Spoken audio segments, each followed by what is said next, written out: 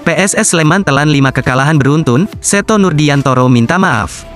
PSS Sleman kembali harus menerima hasil buruk pada pekan ke-28 Liga 1 2022-2023. Super Elang Jawa menelan kekalahan kelima secara beruntun usai ditekuk Persita Tangerang dengan skor 1-2 di Stadion Indomil Arena, Tangerang, Kamis tanggal 2 Maret tahun 2023. Mohon maaf kepada supporter kami tidak bisa memberikan hasil terbaik, terima kasih dukungan luar biasanya. Semoga ini jadi dorongan positif untuk kami. Dua gol di menit-menit awal adalah akibat kesalahan kami dan jadi evaluasi, kata pelatih PSS Sleman, Seto Nurdiantoro seperti dilansir laman resmi Liga Indonesia. Meski harus menelan kekalahan untuk lima kali secara beruntun, namun Seto Nurdiantoro tetap memberikan apresiasi pada pemainnya di laga kontra Persita Tangerang. Di laga kali ini, pemain tampil berbeda, ada semangat lebih di sana.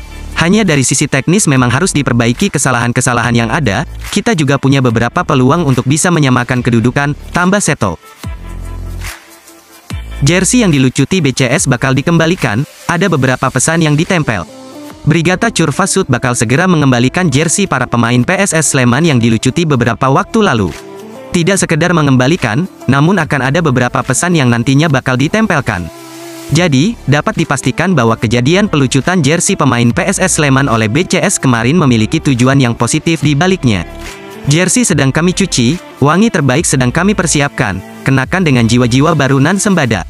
Dari senyummu kami percaya, cinta mungkin saja buta, tapi cinta juga melihat. Kepakan sayapmu kembali, bangkitlah, elang pujaan, tulis Twitter official Brigata Curvasut.